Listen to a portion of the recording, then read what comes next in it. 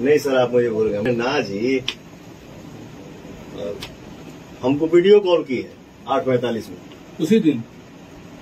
मतलब एक दिन रात में। मतलब घटना के पहले वाले रात में। इतना अफसोस हो रहा है कि मैं उसका फ़ोन उठा नहीं पाया क्योंकि मेरा मेरा फ़ोन साइलेंट में रहता है। देख नहीं पाया। आठ पैंतालीस में मुझे वीडियो कॉल की। भाई से भी बात हुआ है। प्रियांशु से बात हुआ है। अच्छा इस बार का कोई लोकेशन भी नहीं दी कि मैं आ रही हूँ। ऐसा अच्छा है शूट चल रहा है। तो कोई कोई कोई जाता है। मैं- कब थोड़ा सा भी- मैं यहाँ रहता हूँ वहीं चले गया और तब देख लिया। थोड़ा सा भी अंदेशा ऐसा हो तब कुछ नहीं था। थोड़ा सा भी अंदेशा ही नहीं था। अब ऐसा- लोकेशन मिलता था ऐसा दूर दूर तक सपने में कभी सोच ही नहीं इतना तो अपना ही नहीं होती थी लेकिन इतना लोकेशन मिलता था कि हाँ, जैसे है। मोबाइल जैसे देखे ना, कहीं उसका चला, व्हाट्सएप कहीं की वीडियो कॉल आया। जी जी कहीं बिहार मैं है इतना लोकेशन मिलता था बरोबर लेकिन का। नहीं मिला हाँ उसका शूट चल रहा है है। सुबह में गाना पवन जी क्या कहेंगे आज आप यहाँ दुबे के यहाँ क्या कहेंगे? अब देखिए यहाँ हम आए हैं और इस पे हम क्या कहेंगे मेरे पास कोई शब्द नहीं है कि मैं बोलूँ कि मैं क्या कहूँ क्या बोलूँ। कोई शब्द नहीं है।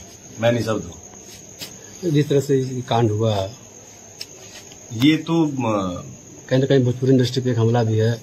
ये तो हम लोग सपने में भी नहीं सोचे थे क्योंकि वो जितनी वो अंदर से मज़बूत थी जितनी बोल्ड थी इतना हँसी मज़ाक करना खुश रहना मस्त भाव में रहना। वो लड़की मतलब ये कदम मतलब अभी भी हम लोगों को मतलब कल्पना भी नहीं कर सकते हैं कि मतलब वो लड़की इस टाइप का कदम उठा सकती है। बट क्या कहेंगे? सरकार से क्या मांग करेंगे आप? देखिए हम लोग बोलते हैं भोजपुरी इंडस्ट्री एक परिवार है। तो हमारे परिवार की एक सदस्य हमारे बीच आज नहीं है।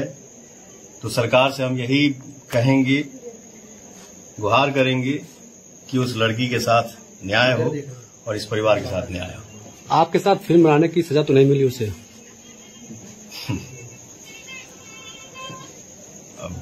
नो कमेंट्स इस पे चलिए सब बातें हम ये लोग सब बात करेंगे। ये बात की बातें हैं अभी कुछ नहीं। आइए आइए। क्या देखिए मतलब समय होता है। जो। मेरे पास है हैं। उसका दिली इच्छा रहता था ना हमारे साथ हमेशा काम करने की सही होना चाहिए।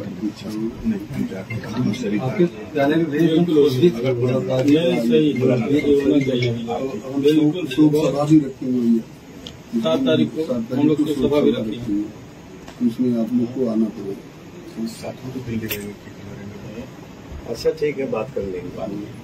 प्रयास एक दिन दिन में हमको मैसेज आया। जी। मतलब हम लोग तो मान लीजिए आर्टिस्ट हैं तो हँसी मज़ाक नहीं करेंगे तो कैसे काम करेंगे? सही बात है। मतलब एक होता है ना अपनापन साहब। सर आप मुझे भूल गए। मैं भेजा ना जी।